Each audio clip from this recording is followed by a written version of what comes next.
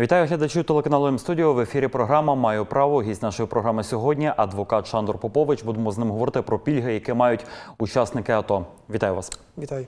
Е, Дійсно, багато от е, в різних сферах мають учасники АТО пільг. Розпочнемо напевно зі сфери охорони здоров'я. Розкажіть, будь ласка, детальніше про це.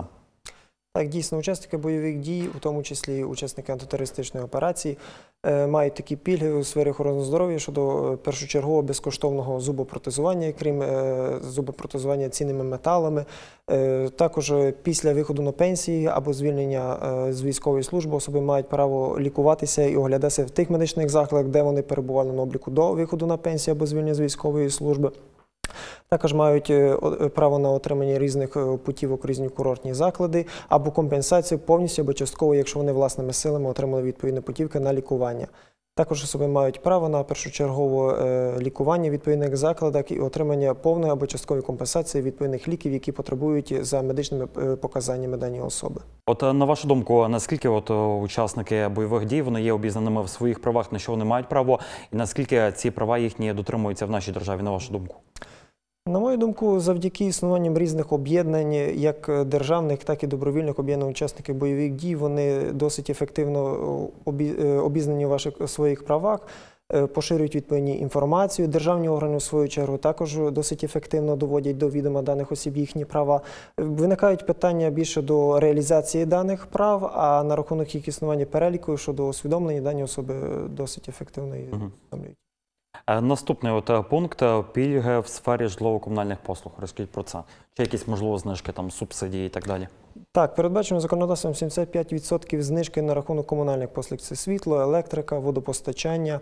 Також е, компенсується 75% щодо квартирних оплат. Інше питання знову ж таки щодо отримання даних виплат і щодо можливості реалізації такого права. Але законодавством передбачена така можливість. Е, Що стосується транспортних пільг, е, чи є в цій сфері, до прикладу, там міський, місь- місь- міжміський транспорт, потяг, літак і так далі?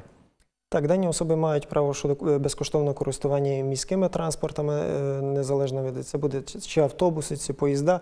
Щодо міжобласного, міжміськими сполученнями, дані особи мають право користуватися е, безкоштовними білетами туди і назад, як записано законодавством, один раз на два роки, або раз на рік е, 50% знижкою.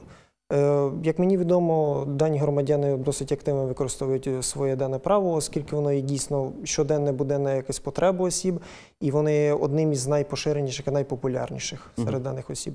Щодо трудових прав учасників бойових дій.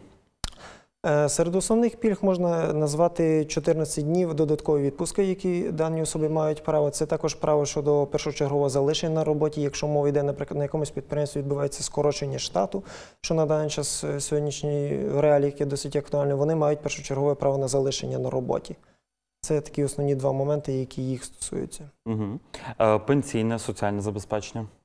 Дані особи також е, мають щодо підвищення розміру пенсії е, порівняно з іншими громадянами. Е, Також пільгові категорії можна віднести щодо виходу на пенсію. Це 55 та 50 років відповідно до чоловіків для жінок за наявності страхового стажу 25 та 20 років відповідно. Щодо освіти, до прикладу, або для самого учасника бойових дій, або для членів їх сімей.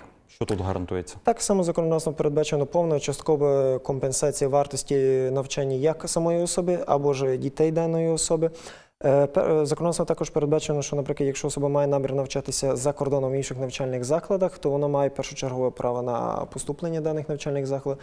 Також законодавством передбачено компенсацію щодо отримання е, відповідних е, книжок, навчальних предметів, компенсується проживання в гуртожитках, е, компенсація надається також щодо отримання інших платних послуг.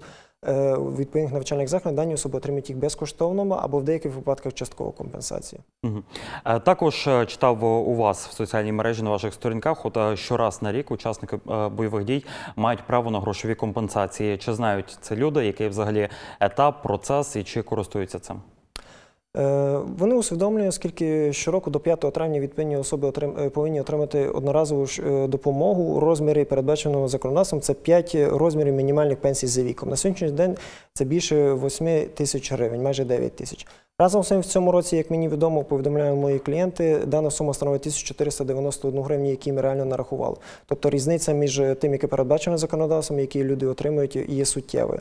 Е, На наші одноразові звернення відповідні органи в добровільному порядку дані кошти не мають набору, і в тому числі законодавством це не передбачено. Разом з цим особи мають право на дані кошти. Тому е, особи вимушені звертатися в судовому порядку для отримання даних грошових коштів, різниці, але це є фактично єдиним можливим способом отримання даних коштів. Е, Громадяни активно звертаються, реалізовують і дане право, але, на жаль, поки що не всі скористалися таким правом. Щодо податків, кредитів, чи є в цій сфері якісь пільги? Так, законодавством також передбачено е, щодо пільгових кредитів, які на даний час активно реалізуються через державні банки, е, з якими співпрацює відповідний уряд. Е, Також надано щодо можливості кредитування на пільгових умовах, в тому числі щодо будівництва або реконструкції житла строком на 10 років, виплати, які починаються після 5 років. Інше питання знову ж таки щодо можливості їх отримання і наявності відповідних коштів.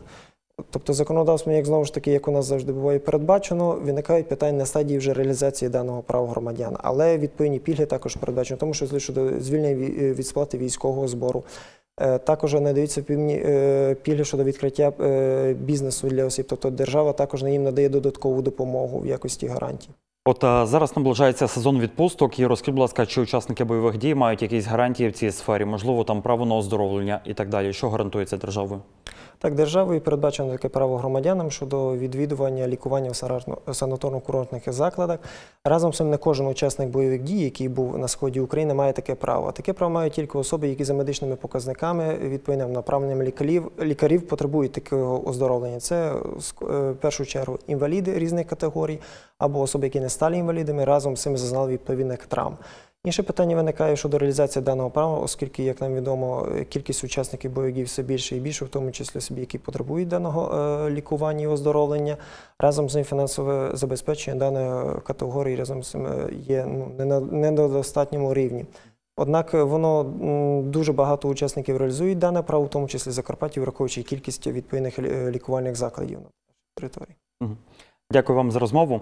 Нагадаю нашим глядачам. Сьогодні у нас в гостях був адвокат Шандор Попович. і Говорили ми з ним про пільги, які мають учасники бойових дій. Нашу розмову шукайте на сторінках в соціальних мережах. Бувайте.